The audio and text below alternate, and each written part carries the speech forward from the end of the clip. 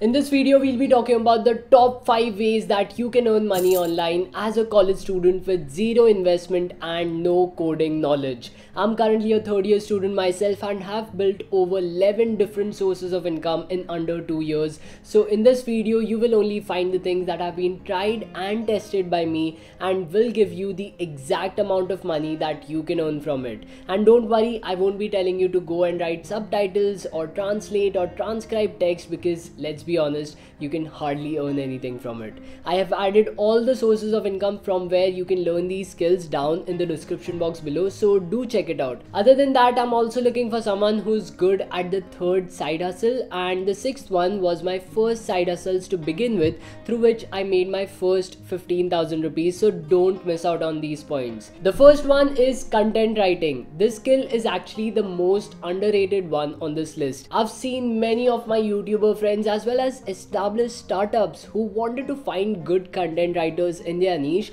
but just couldn't because there's such a shortage of good talent here. Now, content writing skill can actually complement any of the skills that you already possess.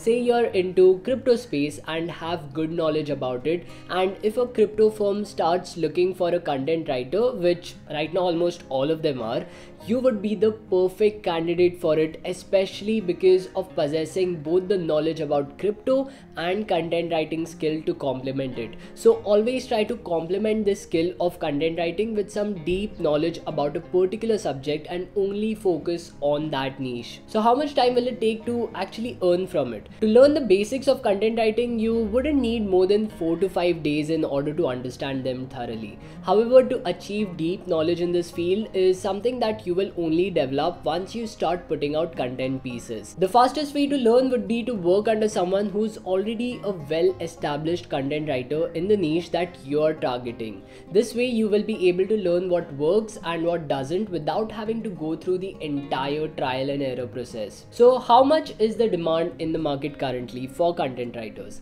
As I said, the demand for good content writers in today's time is quite high, but only for good content writers.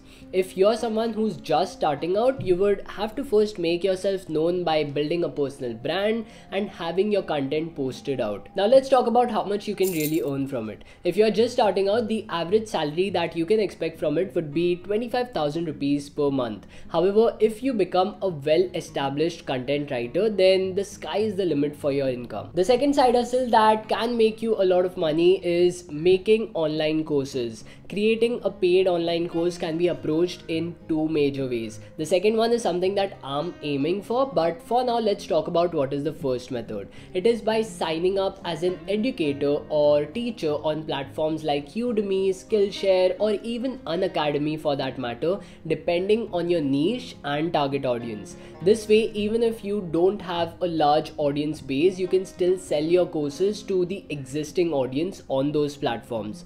The second method is by creating your your own website and hosting your courses over there. If you take any of the top YouTube creators for now who sell their online courses, they mostly opt for having their own platform. This is because they already have an existing audience base who is interested in buying their courses and don't have to depend on other platforms for it. Now, even if you go with the second option, there are a lot of good websites that will help you create a website to sell courses online like Wix, Teachable and so on. So how much time does it really take? Now this really depends on your courses. But apart from recording the courses you would also have to spend time on editing the videos structuring the entire course and also spend time on getting feedback and improving your content quality. So is there really a demand in the market as far as the demand goes right now everyone is learning online. But yes it would be really difficult for you to get sales unless you have already provided people with a ton of value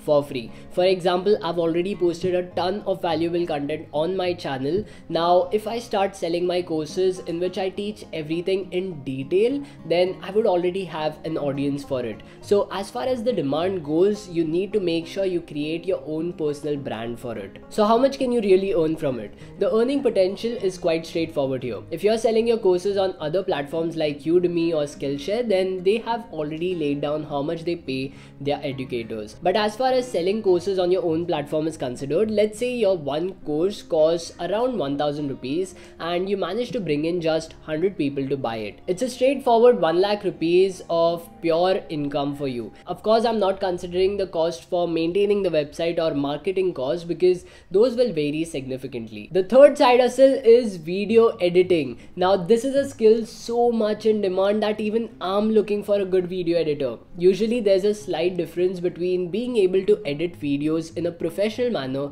with the most perfect color grading, transitions, and so on, and then there's editing, which hooks you on to the video. For example, in the start of this video itself, there were over 10 transition effects within just 5 seconds. That was to get you hooked onto watching this video till the end. These effects need not be professional, nor do you have to have Netflix types video editing. So learn the difference between the two and be better at grabbing the attention of the audience as well. Now there are a ton of amazing video editing tools out there, but the one that I prefer is DaVinci Resolve. It is completely free so you can start with downloading it right off. So Ali, how much time does it really take? Usually learning this skill requires you to at least make 50 to 100 video edits before you can call yourself a professional and sell your services. However, it would only take you around a week to learn the basics of video editing. The demand in the market for this skill, as you can clearly see, is quite high. If you're a good video editor, you can mail me with your previous edits as I'm constantly looking for good video editors myself. As far as the earning potential goes, it varies significantly for this skill. If you're just starting out, you might get around 500 to 1000 rupees per video, but as you start getting better, you can even make over 4 to 5 lakhs per month through video editing itself. The next side hustle that we have over here is affiliate marketing. Now, affiliate marketing is not as complicated as you might think it is. It basically means you're selling someone else's uh, goods and services and you're getting a commission for it. Now, this is obviously not a sustainable source of income, but yes, I have seen people making tons of money through it. Even if you go to the description box of this video, there are two to three affiliate marketing links here as well.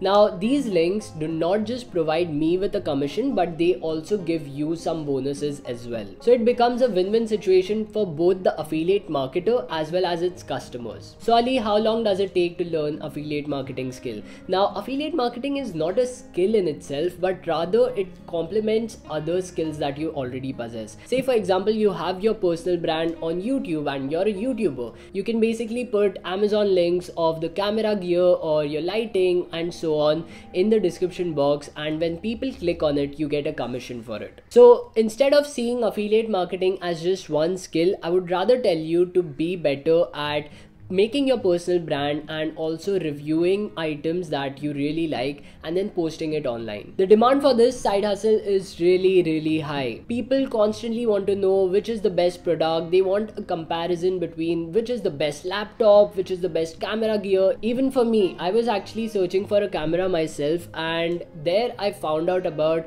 uh, different websites, you know, comparing these different cameras and having their affiliate links for each one of them. So, whenever customer wants to buy any of these cameras, they can just click on that link and they get a commission for it. Now, the earning potential really depends on the traffic that you can generate on your website. So, I won't be giving you a fixed number for this particular side hustle, but you can check out this particular video in which I've talked about how much you can earn through affiliate marketing as well. The next side hustle is graphic designing, and I don't just want to talk about graphic designing in general, but rather I will be talking about making thumbnails and and logos. These are some of the things that I used to do in my free time for other YouTube creators before I became a YouTube creator myself and uh, I exactly know how much you can earn from this skill. Now of course for graphic designing you can start learning Photoshop and start learning all those different tools and become a professional at it. But when it comes to making thumbnails, making logos, you don't need to be a professional for it. You can basically learn this skill in a day or two and you don't even need Photoshop for it.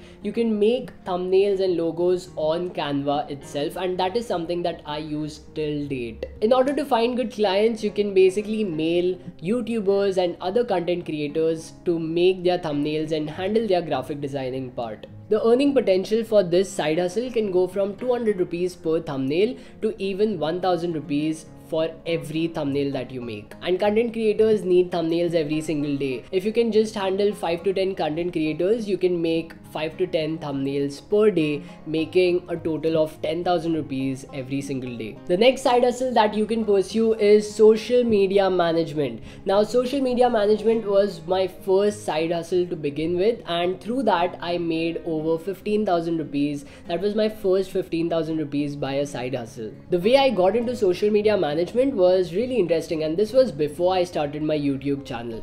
Now, I started messaging a lot of businesses in order to handle their Instagram accounts, and the demand was so high in the market that in just a day or two, I got my first client in. Now, of course, I went in with a proper proposal in mind and a proper roadmap in order to grow their Instagram account, and that's how I landed with that client. But yes, you can make a lot of money through social media management itself. Big businesses are constantly looking for young talent in order to manage their social media accounts, especially their Instagram accounts. So go out there and make a proper email template and start mailing each and every one. The earning potential for this side hustle, if you're managing multiple uh, Instagram accounts, is over 3 lakh rupees per month and this is not a figure that i'm just randomly throwing out in the air. This is actually being made by some of my friends who are into social media management right now. So now when you start earning your money learn how to invest it and watch this particular video to do just that